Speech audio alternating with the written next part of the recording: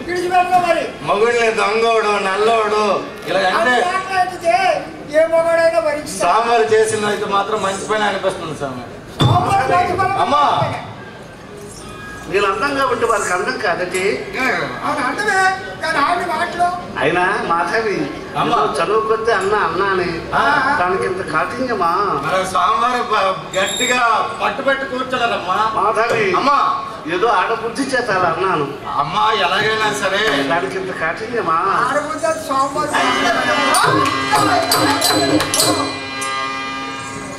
ఇది ఏమిటంటే భామా కలప దొరువు అంటారు. అవును. దరువు సాంప్రదాయం ఇదంతా పురాతన కళ అనమాట బాగా పురాతన కళ ఇది. రెండు వందల సంవత్సరాల నాటి కళలు. ఇంకా చక్కాహారిగా ధరిస్తూ ఆ పద్ధతిలోనే నాటు పద్ధతిలోనే అలా- అలా నాడుతూ ఉన్నాం. పూర్వం మా తాతగారి టైంలో లైట్లు లేవు. రెండు కాగడాలు ఉండేవి రెండు కాగడాలు. మా బాల్యంలో చిన్నతనంలో ఆయనతో ఒకసారి వెళ్ళేవాడిని. రెండు కాగడ అటు కాగడ ఇటు కాగడ ఉండేది. ఆ కాగడాలు వెళ్తుంటే ఆ నూనె వేస్తుంటే అలాగా ఆ కాగడాలు తెల్లవాళ్ళు కూడా వేసుకుని ఉండేవారు. చాకలు కాగడాలు పట్టుకు ఉండేవారు. ఆ కాగడాలు వెళ్తుల్లో భామా కలాపం తెల్లవారులు పది గంటలు ప్రారంభించి ఉదయం ఆరు గంటల వరకు కూడా ఆడేవారు. మహానుభావులు. ప్రజలు కూడా అలాగే కూర్చునేవారు. పరిశీలించేవారు. వేషగాడు ఏ తాళం పాడుతున్నాడు ఏ రాగం పాడుతున్నాడు ఇంత పరిశ్రమ ఏమిటని ఆలోచించేటువంటి ప్రజలు ఉండేవారు. అయితే రాను కళ ఇంకా కొన్ని ఏదో కొంతమంది అలాగా మమ్మల్ని ఆదరిస్తూ తిరుగుతూ ఉన్నాం. మరి కుటుంబ సాంప్రదాయాన్ని ఇంటి వార్షికాన్ని తప్పించుకోవడం అనే ఉద్దేశంతో తిరుగుతున్నాం. అయితే గ్రామదేవత పండుగలకు మాత్రం అమ్మవారి ముందు భాగవతం ఆడాలి. భామా కళ పాడితే అమ్మవారు సంతోషిస్తూ ఉంది. అంచేత అమ్మవారి పండుగలు మాత్రం మమ్మల్ని పిలుస్తూ ఉంటారు. అందుచేత అలాగా కాలాన్ని గడుపుతూ నడిపిస్తున్నాం. ఈ దరువు సాంప్రదాయం లటతాళం సావేరి రాదు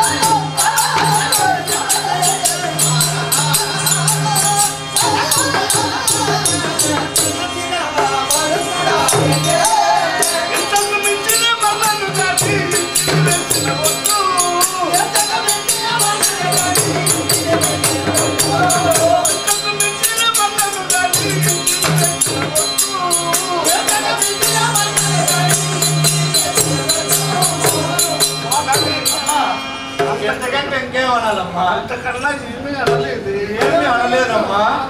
చిట్టి తల్లి స్వామి వారిని అనరాని మాట్లాడలే అని ఇప్పుడేమీ నాకేమీ తెలియదు అన్నట్టుగా ఇంతకు మించి ఏమి అనలేదని అంటున్నారు. అమ్మా. ఆనాటి నుంచి అమ్మా.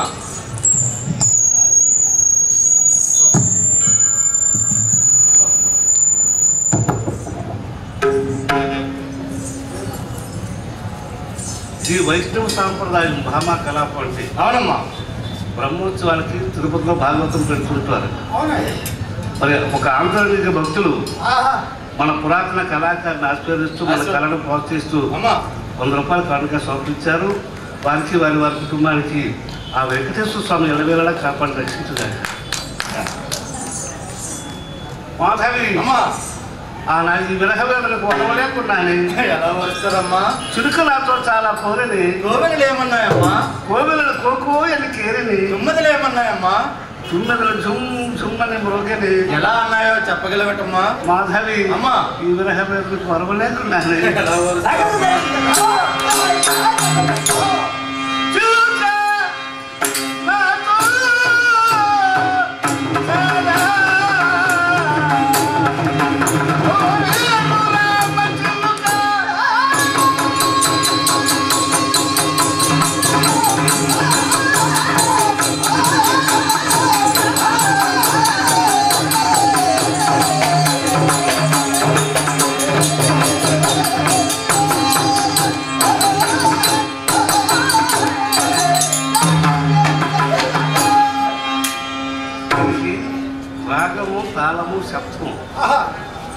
శబ్దాలు కూడా కట్టినటువంటి దీని దొరువు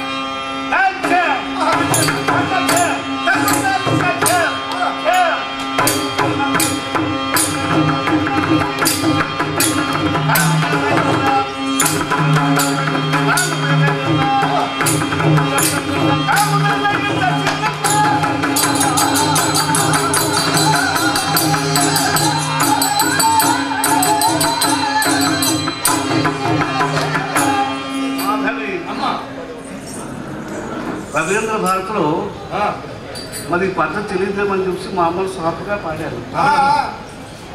చిలుక నాతో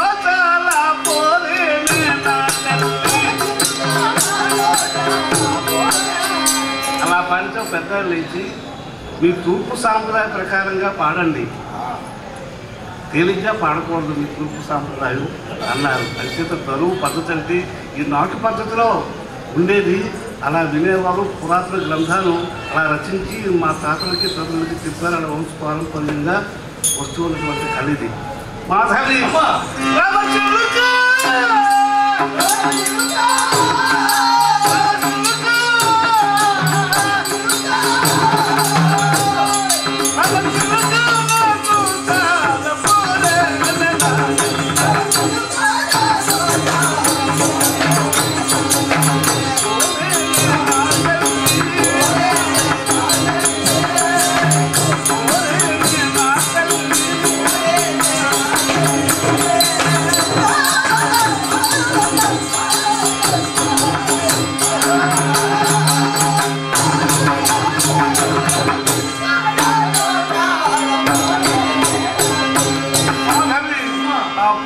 పచ్చని చెట్లపై కూర్చొని పచ్చని చెట్లపై కూర్చొని నాతో సమానంగా కోని తీరుచున్నవి ఏ విధంగా కేర్చున్నాయో చెప్పగలగటమ్మా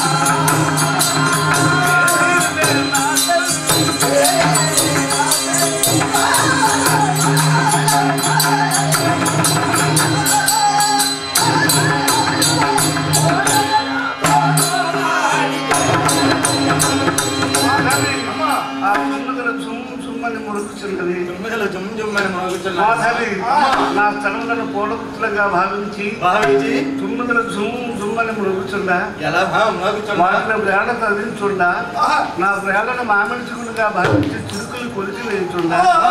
ఆ బాధను భరించలేక కేకలు వేయుచుండా. నాతో సమానంగా కోవిలను కోకో అని చేరుచుండా. ఈ విరహాన్ని సైపుజాలకు ఆరుబయట సీనింప ఆహా. మలగాలి నిలువని ఇక చలంపడ ఆ దిమ్మ నీరైన తమ్ముడు పగవెన్నెల కాయించుండి సొపటి సాధకాలు అనేక దిమ్మలు ఊహించుండి ఆహా. ఈ చెడుగుల బాధ చెట్టు సహించదా? ఈ విరహాన్ని ఏ రీతి చల్లార్చదా? అబ్బా. నేనటులా సాగిందు ఐలోకమే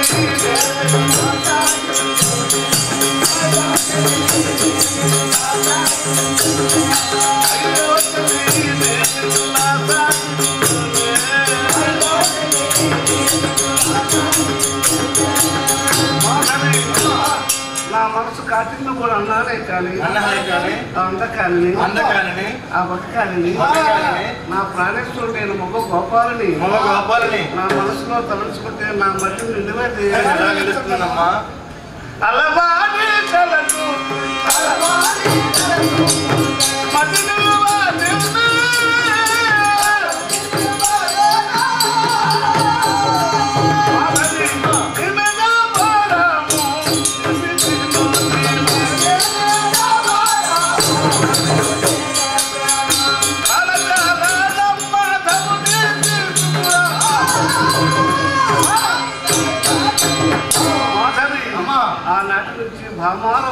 సత్యభామ అన్న వినడం లేదమ్మా. వినలేదు. అయ్యో. ఓ భామ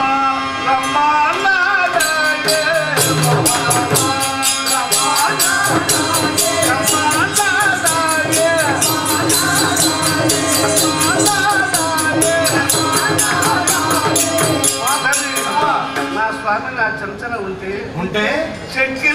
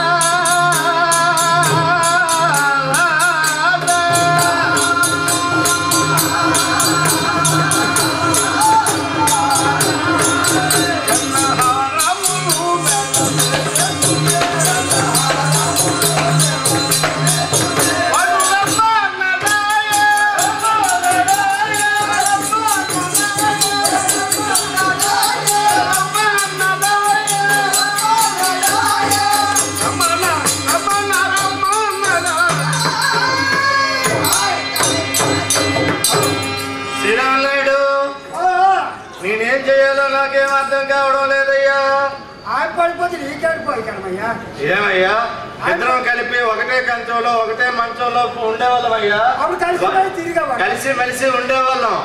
అటువంటి సత్యభామ. ఆడుతూ. పాడుతూ నా కళ్ళ ముందుటే పడిపోయారు. ఆవిడ కష్టపడి పడిపోయి నీకాడి కష్టపచ్చింది ఆవిడకి ఏమిటి కష్టం. వచ్చింది నీకెలా. అందుచేతను నాకు ఎందుకో భయం భయమో? ఆవిడ ఒళ్ళంతా చూస్తే మెత్తగా ఉంది. తలకాయ పట్టుకుంటే మాత్రం గట్టిగా ఉంది. చూడు. నీ శరీరం చూడవయ్యా నాకు అలాగే ఉంది ఆమె కలగదు నీ కలగొందా నాకు ఉందా? ఇప్పుడు ఏం చేయాలో నాకేం అర్థం కావడం లేదు. స్వామివారి దగ్గరికి వెళ్ళి వెళ్ళి ఆయన కనుకో. అనుకోవాలా ఆ అమ్మగారు ఇరవై నిమిషాలు పడిపోయింది. విద్యులైనటువంటి ప్రేక్షక మహాశయులకు తెలియజేయండి అవునుగా ఈ బంత్రకోటి వారి వంశంలో తరతరాలుగా వస్తున్నటువంటి కళ ఇది. ఈ తూర్పు భాగవతం అనేటటువంటిది ఇప్పుడు సత్యభామ పాత్రలో ఉండేటటువంటిది మా నాన్నగారు. ఈ వంశంలో ఇంకా ఈ కళని అభివృద్ధి చేయడం కోసమని ఆయన వెంట వెళ్తూ కళను నేర్చుకోవడం అంటూ జరుగుతుంది. కాబట్టి మాలో ఎటువంటి తప్పులు ఉన్నా సరే విఘ్నులైనటువంటి మీరు అంతమంది కూడాను మా వల్ల ఉండేటటువంటి తప్పులను ఒప్పుడుగా భావించి మమ్మల్ని అంతమందిని కూడా ఆశీర్వదిస్తారని కోరుతున్నాం అయితే స్వామివారి దగ్గరికి వెళ్ళమంటాం స్వామివారి దగ్గరికి వెళ్ళి. ఆయన తాను కష్టబాధలు చెప్పు. విరహబాధలు ఆ, చెప్పమంటాం హృదయాలు చెప్పు. కృష్ణ ముకుంద దేవదేవ ఆత్మనాడు ప్రణాయన స్వామి కృష్ణ. ఏం మధవరాయ సత్యభామ ఆడుతూ పాడుతూ అలా కూర్చుండిపోయారయ్యా. మాధవరాయ స్వామి. నీవు చెప్పిన దాన్ని బట్టి చూస్తే చూస్తే? సత్రాజితుని కుమార్తె. ఆ, స్వామి. సత్రాజితుని కుమార్తె. సత్యభామై ఉంటుందని నాకు తోచున్నది అంటే నీవు వెళ్ళి స్వామి నల్లగనులు తెప్పించి పందిరి వేయించి. ఆమెను మధ్యలో కూర్చోబెడితే. ఆమె ఆ నల్ల కలువల చదువుతో ఆ, మూర్ఛ నుండి తెప్పరిల్లి. మామూలుగా అవుతుంది ఆ. పని చేయి నువ్వు వెళ్ళి నల్ల కలువలు తీసుకురా అలాగే స్వామి ఈ కళను ప్రోత్సహిస్తూ గౌరవనీయులు పూజ్యులు ఆహా, తిరుపతయ్య గారు కళ మేళ బృందాన్ని ఆశీర్వదిస్తూ ఐదు వందల రూపాయలు కానుకగా చదివించారు. వారికి వారి కుటుంబానికి ఆ. దేవదేవుడైనటువంటి శ్రీ వెంకటేశ్వర స్వామి అష్టైశ్వర్యాలు ఇచ్చి భాగ్యాలు ఇచ్చి వారిని కాపాడవలసిందిగా కోరుతున్నాం. అనవే శ్రీరామ్ నాయుడు. మన ఊర్లో ఏమైనా దొరుకుతాయేంటి? నల్ల కలువలు. ఏ వర్షాలు ఎక్కడ సైడ్లు అక్కడ మన మీకు పర్లేదా వర్షం పడినా మన మళ్ళయ్యా ఆ, డాక్టర్ గారు మీ దగ్గర ఉన్నాయేంటి మీ పని అయిపోయిందా? స్వామి కృష్ణ స్వామి దేవదేవ. ఎక్కడ పడితే అక్కడ వెతికాము స్వామి. ఎక్కడ కూడా నల్ల కలువలు లేవు స్వామి. మాధవరాయ స్వామి. ఇంకా వెతికితే దొరుకుతాయి. నల్ల కలువలు దొరకపోవడం ఉంది. ఆ, స్వామి. దొరుకుతాయి. మరి ఎతకడానికి ఎక్కడ వర్షాలు లేవు స్వామి. ఎక్కడ పడితే అక్కడ ఇంకిపోయినాయి స్వామి. చెరువులో నిన్న. అయితే స్వామి. సత్యబాబుకి చెప్పు. ఏమని? వస్తున్నారని చెప్పు. మీరు వస్తున్నారా స్వామి? నేను వస్తున్నానని చెప్పు. మీలో ఉన్న కోపం అంతా పోయినట్టేనా స్వామి? నేను వస్తానని చెప్పు. అలాగే స్వామి. అమ్మా అదిగో స్వామి గారు వస్తున్నారమ్మా. అదిగో స్వామి గారు వస్తున్నారు. అదిగో అదిగో స్వామి గారు వస్తున్నారమ్మా. స్వామి గారు వస్తున్నారు అవునా, వస్తున్నారమ్మా? వారేనమ్మా. వస్తున్నారమ్మా. ఆ, ఆ, వస్తున్నారా? వస్తున్నారని నాకు చెప్పారమ్మా.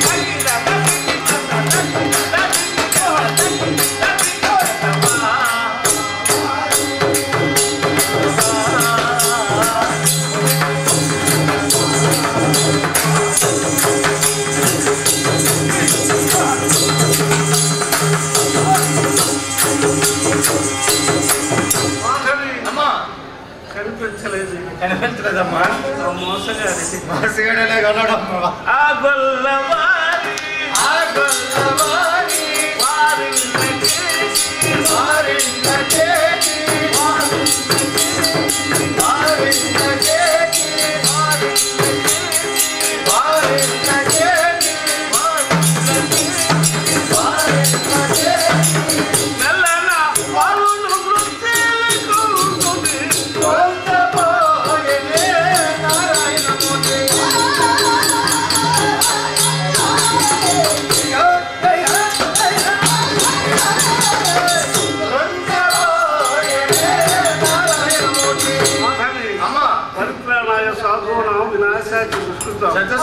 ధర్మ సంస్థాపనార్థాయ సంభవాన్ని.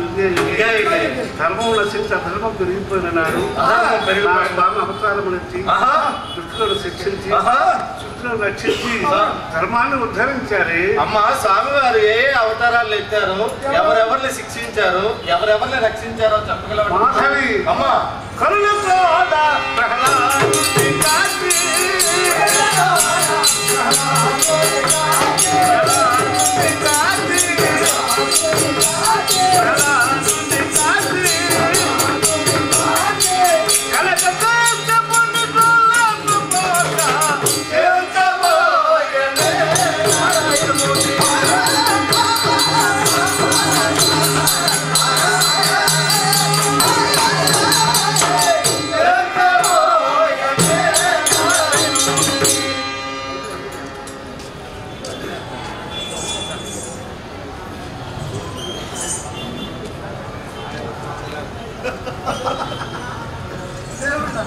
ఒక సద్భక్తులు శ్రీ వెంకటేశ్వర స్వామి వారి పేరు చెప్పి మా మేళ సంఘానికి వంద రూపాయలు కానుకగా చదివించారు.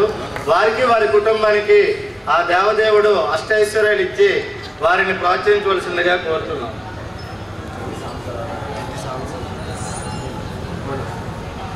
గౌరవనీయులు పెద్దలు భక్తులు పెద్ది సాంబశివరాజు గారు మా మేళ సంఘాన్ని అభినందిస్తూ ఐదు వందల సాంబశివరావు గారు.